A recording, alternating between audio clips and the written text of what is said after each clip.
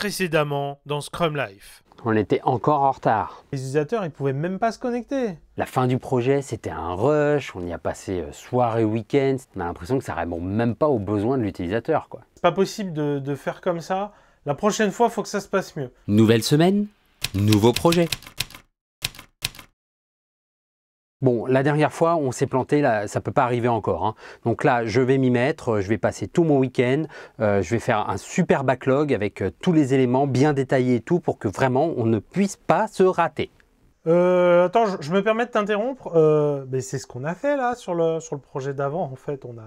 Non? Oui, mais visiblement, on l'avait pas assez bien fait, il n'était pas assez précis, il n'était pas avec assez d'éléments.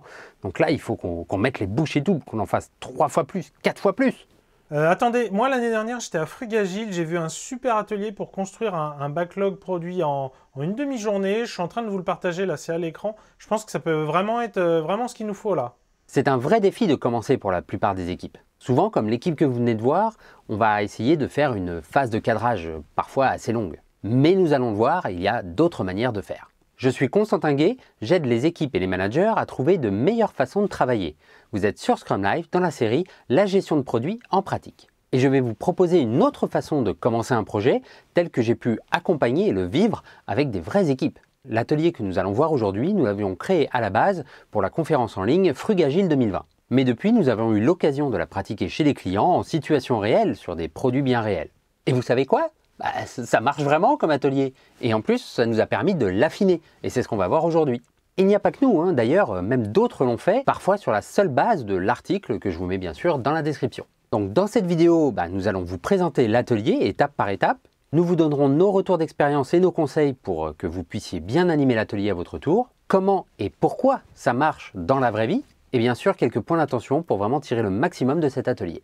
Je vais vous présenter cet atelier qui ne devrait pas prendre plus d'une demi-journée, qui va vous permettre en commençant avec euh, pas grand-chose, au bout de quelques heures d'avoir un backlog, c'est-à-dire une liste d'options possibles pour pouvoir créer votre produit. Et en quelques heures, eh bien, vous pouvez euh, tout simplement vous mettre au travail. Dans une première partie, nous allons parler de la vision produit.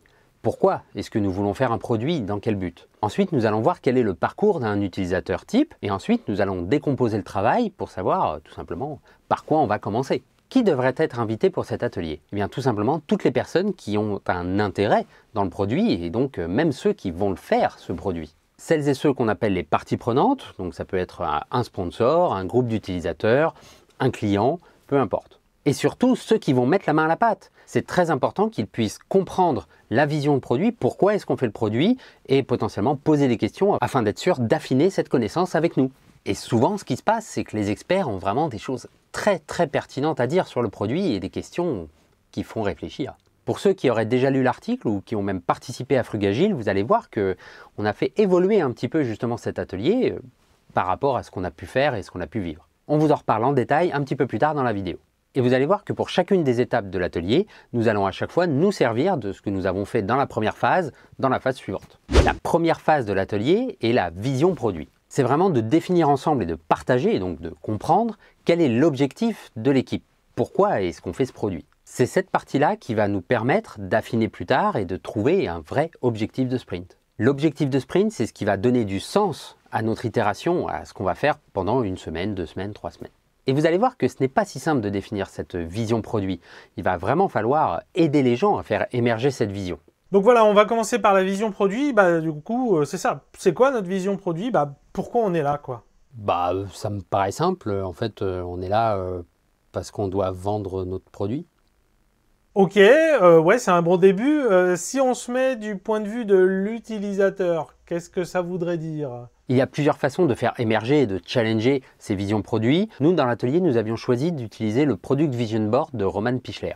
Mais vous pourriez aussi utiliser un link Canva, par exemple, et je vous envoie d'ailleurs vers un, épisode qui en parle. Un gros merci à Roman Pichler pour tous les outils qu'il donne, vraiment donne à la communauté. Donc cette partie-là dure à peu près 20 à 40 minutes. Il ne faut pas hésiter à prendre un petit peu le temps quand même, parce que c'est vraiment ce qui va euh, cadrer un petit peu le reste de l'exercice, et même euh, le reste de la création du produit. hein. Mais on ne veut pas non plus que ce soit trop long. Donc si on n'arrive pas à avoir quelque chose vraiment de hyper satisfaisant ou de parfait en 40 minutes, il faut mieux s'arrêter et se dire qu'on va pouvoir l'affiner par la suite parce que le reste de l'atelier va nous permettre de nous donner du challenge sur cette vision et potentiellement euh, de le trouver mieux. Bien, vous allez voir que comme pour tout, on apprend en faisant. Comme je vous l'ai dit plus tôt, tout le monde participe à l'atelier et tout le monde doit pouvoir donner sa voix. Il faut que cette vision produit soit écrite et partagée par tout le monde. À la fin de cette phase, nous avons donc une vision produit qui est clairement exprimée et qui est partagée par tous. Nous passons donc de la deuxième phase, le parcours utilisateur. Le parcours utilisateur que vous connaissez peut-être sous le nom de User Story Mapping. C'est un atelier qui va nous permettre de visualiser et de découvrir ensemble parfois bah, comment fait un utilisateur pour aller d'un point A à un point B.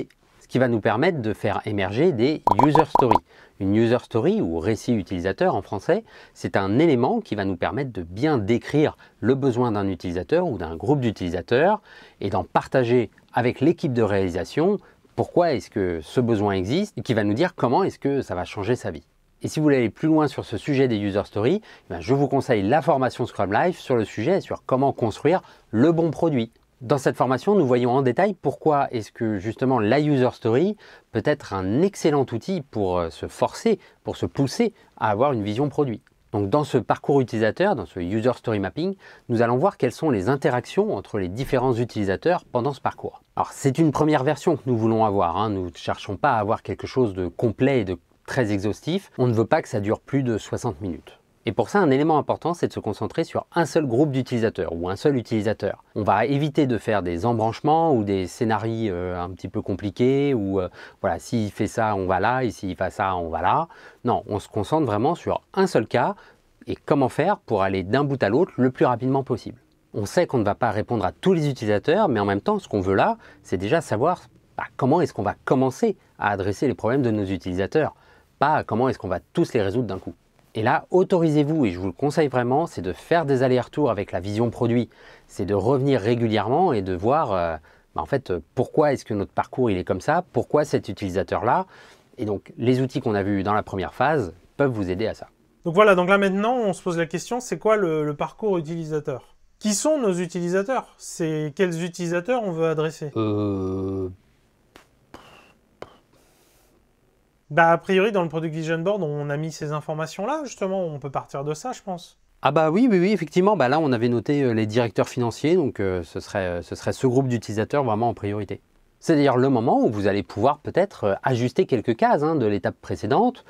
pourquoi pas ajuster la cible, l'affiner un petit peu, ou au contraire trouver qu'il y a plusieurs types d'utilisateurs qui se regroupent au sein d'un même groupe. C'est ici qu'on va parler par exemple de ce qu'on appelle les early adopters, c'est-à-dire les gens qui sont prêts à prendre votre produit en main très très tôt, même si celui-ci n'est pas parfait. C'est à ce moment-là qu'on voit que si on n'a pas bien défini notre vision produit, ou en tout cas qu'elle n'est pas claire, ce parcours utilisateur va permettre de faire émerger des questions et potentiellement euh, de le voir et justement de pouvoir affiner notre vision à nouveau. Sinon, de toute façon, on le voit, on commence à être perdu, on part dans des choses qui n'ont plus de sens les uns avec les autres. Que j'aime bien dans ce parcours utilisateur, c'est que ça va nous permettre de visualiser tout de suite comment faire pour permettre à notre utilisateur ou à notre groupe d'utilisateurs d'atteindre son objectif le plus rapidement possible. Pour certains éléments du parcours, ça va être indispensable de créer quelque chose parce qu'il n'y a aucun moyen de le faire autrement.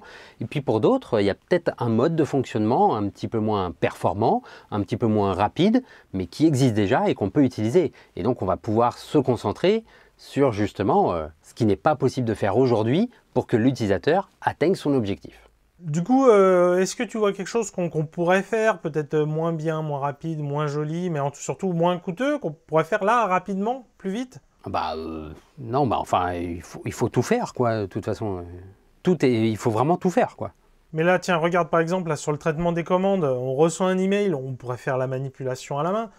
Euh, ouais, mais ce qu'il y a, c'est qu'au bout d'un moment, on aura beaucoup trop de clients pour que ce soit gérable. Quoi. Il faudrait embaucher des, centaines de personnes. Bah, des centaines, ça dépend combien on aura d'utilisateurs. Là, on est au tout début, on va avoir combien d'utilisateurs à ton avis? Peut-être 20, euh, 30 dans les premières semaines. Du coup, c'est peut-être encore gérable à la main, en tout cas dans ce premier temps. Ça sera la rançon du succès si on a le souci, quoi.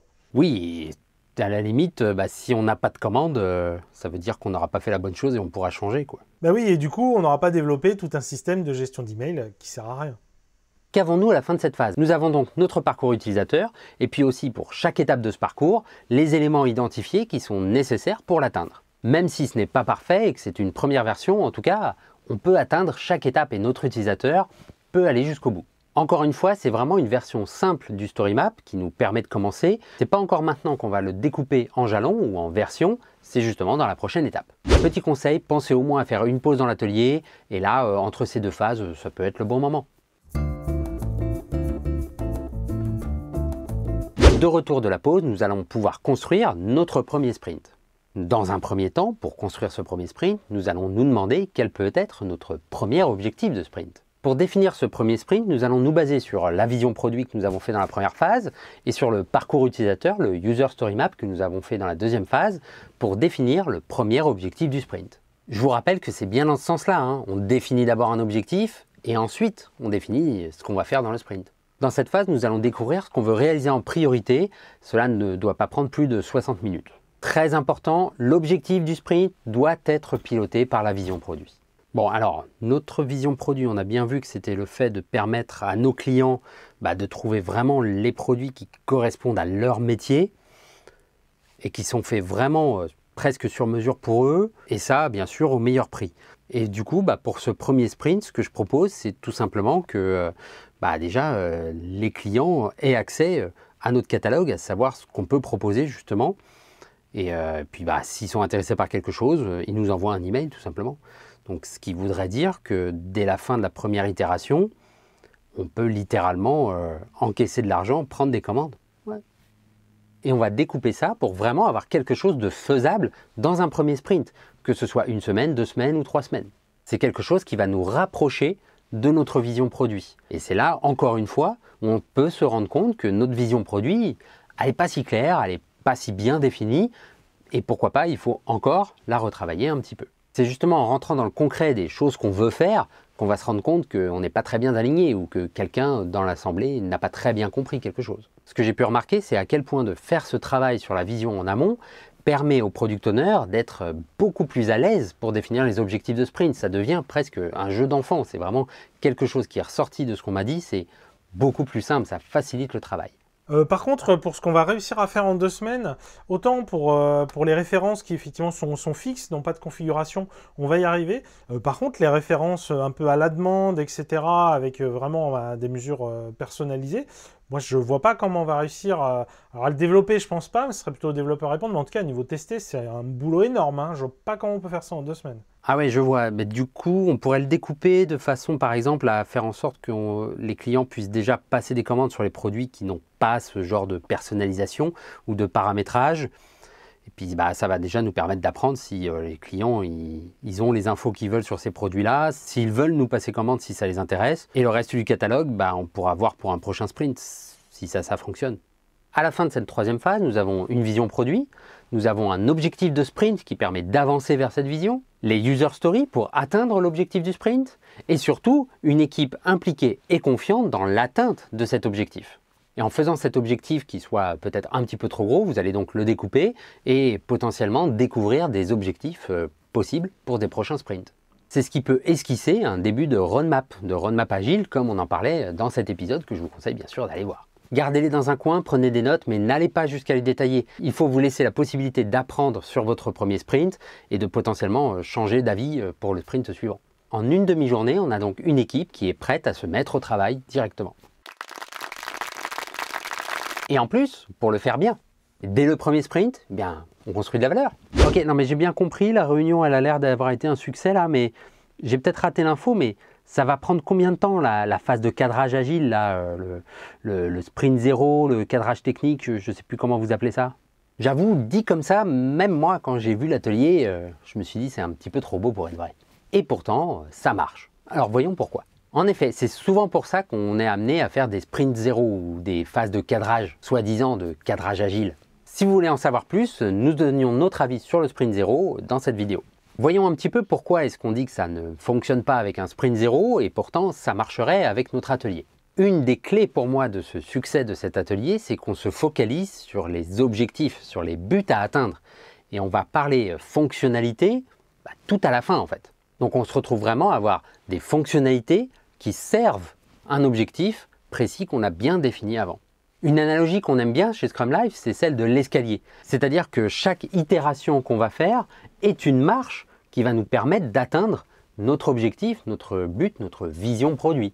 Et en même temps, on ne connaît pas les marches qu'on va devoir prendre. Et donc, chacune de ces marches, c'est aussi un moyen d'apprendre quelle est la suivante, quel chemin prendre pour atteindre notre vision, celle que nous voulons vraiment avoir. Chaque sprint est donc une opportunité. À chacune de ces marches, nous aurons du feedback, du retour pour savoir si nous nous sommes approchés de notre vision, si nous avons appris les bonnes choses, et ça nous donne des éléments concrets pour savoir quelle est la marche suivante pour atteindre notre objectif. Ouais, là, tu vois, je suis un peu mitigé avec cette fin de sprint, parce que bah, du coup, euh, on a bien bossé, on a réussi à faire ce qu'on voulait, mais euh, bah, au final, les utilisateurs, ils nous disent que eux, euh, s'ils veulent en gros un truc qui n'est pas paramétré vraiment pour eux, fait, ils vont dans n'importe quelle boutique ils en achètent. Donc, c'était pas ce qu'il leur fallait en fait.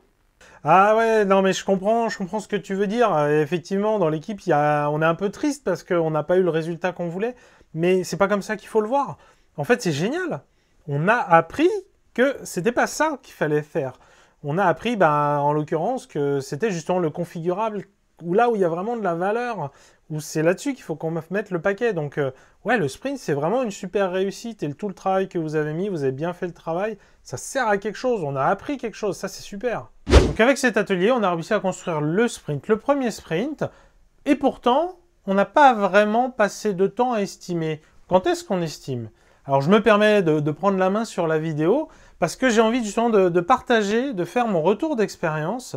Effectivement, à l'origine, dans la première version de l'atelier, il y avait une phase où on estimait, et là on l'a enlevé. Qu'est-ce qui a changé? Pourquoi maintenant on ne recommande plus de faire une phase d'estimation dans cet atelier? Eh bien paradoxalement, c'est justement parce qu'on l'a fait avec des clients. À l'origine, on le faisait pour de dans une conférence avec des personnes qui ne se connaissaient pas, qui travaillaient sur un faux produit.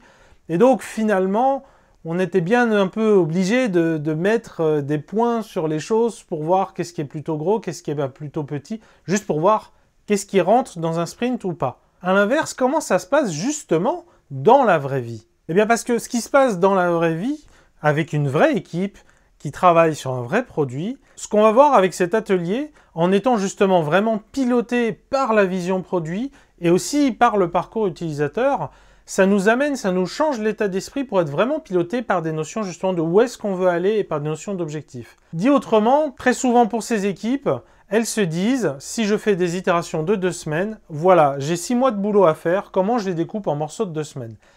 Et donc tout l'enjeu, c'est comment on fait rentrer ça au chausse-pied, comment on le découpe, et donc c'est quasi impossible de se séparer de la notion d'estimation quand on pense comme ça. De se focaliser sur la vision produit, sur le parcours utilisateur, de toujours penser valeur, gain, on va penser autrement. Encore une fois, si on est sur des itérations de deux semaines, on va plutôt se dire, nous avons deux semaines devant nous, qu'est-ce qu'on peut générer comme valeur pendant ces deux semaines? En fait, on retourne le modèle encore une fois, avant, on voulait découper un gros machin dans des petits blocs qui, quelque part, presque nous contraignaient plus qu'autre chose. Parfois, certains développeurs vous diraient Non, mais de toute façon, il y a trois mois de travail, pourquoi on ne travaille pas pendant trois mois? C'est tout l'inverse. Et effectivement, si on utilise juste les itérations comme un moyen de découper, fait, on rate complètement Scrum. Le but, c'est vraiment, encore une fois, de se dire Nous avons une boîte de temps, comment on utilise ce temps pour générer le maximum de valeur? C'est vraiment un changement d'état d'esprit, un changement de mindset. Donc, on en reparlera à nouveau sur la chaîne, parce que il suffit pas forcément de l'expliquer comme ça pour vraiment bien réaliser toute la portée. Je rends la parole à Constantin, je vous dis à très bientôt. Mais il arrive aussi des cas où vous faites cet atelier, mais vous avez déjà un backlog. Et là, ça complique les choses.